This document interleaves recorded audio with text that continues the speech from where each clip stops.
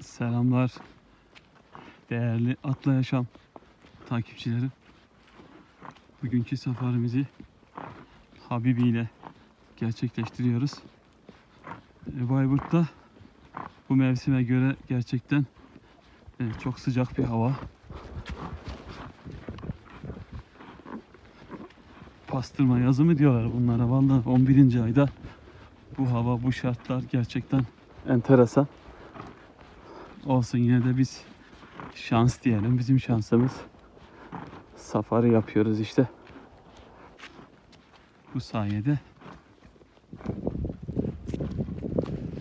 Bayburt güzel, hava güzel. Allah'a şükür şartlar güzel, imkanlar güzel. Biz de bu şartları değerlendiriyoruz elimizden geldiği kadarıyla. At sevgisiyle yaşayıp at sevgisini insanlara aşılamaya çalışıyoruz. Allah'a hamdolsun. İnsanları sokaktan, kahveden, şşt, yavaş. İşte ne bileyim kötü alışkanlıklardan uzaklaştırıp at sırtına, işte at vesilesi dolayısıyla değerli insanlarla bir araya getirmeye çalışıyoruz. Zaten atın en önemli bendeki yeri insanları bir araya getirmesi.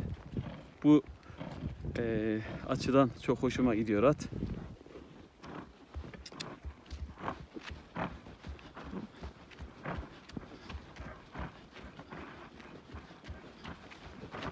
Abi bir geçer miyiz şu aradan?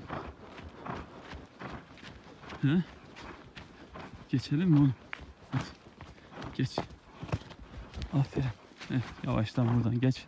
Evet normalde arkadaşlar bu e, herk dediğimiz ama tırmık olan bir tarla. Buralarda atı kesinlikle koşturmuyoruz. Ben sadece buradan şu an yavaş olarak geçiyorum. Yoksa buradan koşturursanız bu gibi arazilerde at ne yapar arkadaşlar? Arka ayağını ön ayağındaki tendonlara vurarak atın sakatlanmasına neden olur. Bu tip arazilerde kesinlikle atımızı ne yapıyoruz? Ne yapmıyoruz? Koşturmuyoruz değerli arkadaşlar. Atlar hassas varlıklardır. Yani tamam göründüğü gibi öyle güçlü, dört ayağı kaslı, işte 400-500 kilo hayvanlar olabilir. Ama o 400-500 kiloyu dört tane ayak taşıyor arkadaşlar. O nedenle atlarımıza dikkat etmemiz lazım. Evet böyle görmüş olduğunuz orta sertlikteki arazilerde ufaktan koşturabilirsiniz. Habib gidelim mi? Hadi.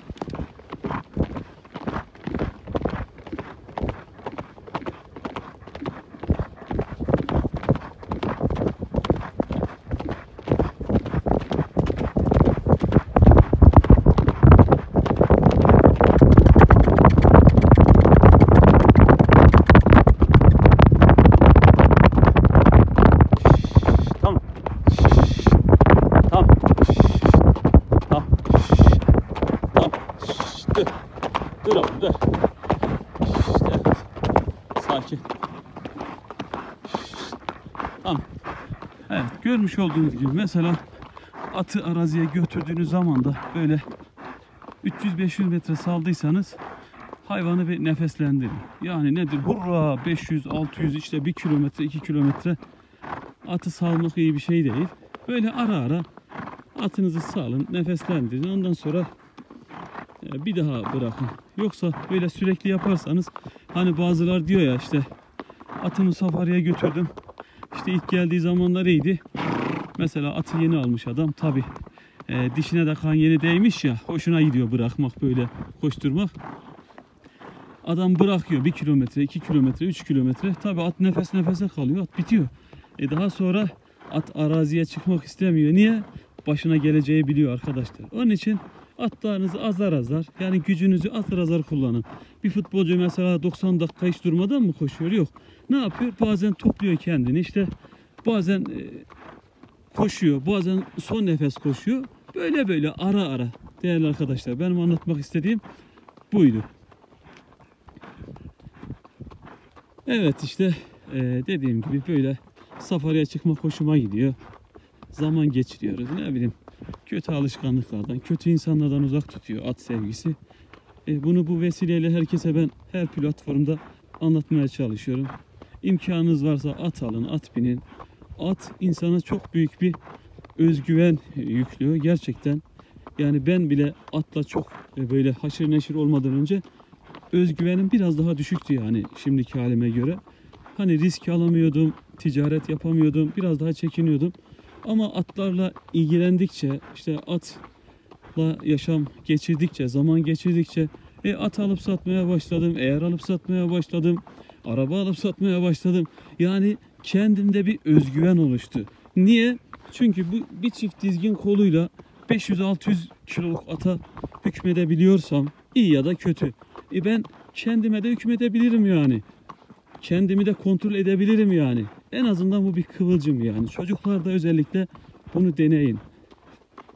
Özel çocuklarda özellikle özel çocukları atlarla e, temas ettirin, dokunsunlar. Onlarla zaman geçirsinler, onları okşasınlar, tımar etsinler, elleriyle beslesinler, özellikle beslesinler. Bu özel çocuklarda e, çok faydası olduğunu göreceksiniz. Ki ben kendimde de oldu yani. Bunun faydası çok fazla arkadaşlar. Mesela zayıf bir at alıyorum. O atın gelişimini görüyorum. O attaki potansiyeli görüyorum. İşte kuyruğu gün geçtikçe daha da yukarı kalkıyor. İşte daha da şekilleniyor. Göğsü açılıyor, kolları açılıyor. Yürüyüşü, endamı gelişiyor. Ya bir noktaya ulaştıktan sonra emin olun o at bana artık zevk vermemeye başlıyor. Bilmem anlatabildim mi yani. Benim değişim sebebimden biri de budur aslında. Yani istediğim her şeyi elde ettikten sonra o atta ya o at artık benim için hani Oğuz Sefa haricinde onlar artık sıradanlaşıyor yani. Oğuz Sefa başkaydı zaten. Tüyünce ömrü olsun onun da Nizam Alem Fatih dizisine verdik. İnşallah orada izleyeceğiz. Ha dediğim gibi yani bu bir e, kara sevda. Biz de elimizden geldiğince bu sevdayı yaşayıp yaşatmaya çalışıyoruz. E, gönül işi herkese bu sevdaya e, bir yerden bir noktadan bulaşmasını istiyorum. Zaten eğer poposu bir defa değen bundan vazgeçemez emin olun. Bunu da buradan belirtmiş olalım. Hayırlı günler diliyorum. Allah'a emanet olun. Instagram Atla Yaşam yine. TikTok Kadir Köprücü. YouTube zaten YouTube'a yükleyeceğim bunu. YouTube'da da videolarımız e, Atla Yaşam Seni Sevilen Bayburt olarak e, geçmektedir. Evet atımızı biraz nefeslendirdik mesela. Şimdi ufak tempoda seslerle.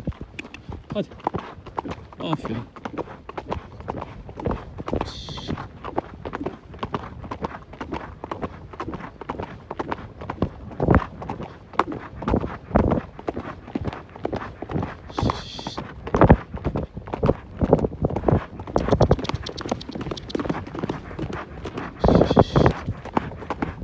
Tamam. Tamam Habibi. Dur. Şşş. Habib. Şşş. Tamam. Tamam. Tamam. Hadi. Hadi dönelim. Yeter. Şşş. Dur. Şşş. Habib uyanı git. Oğlum.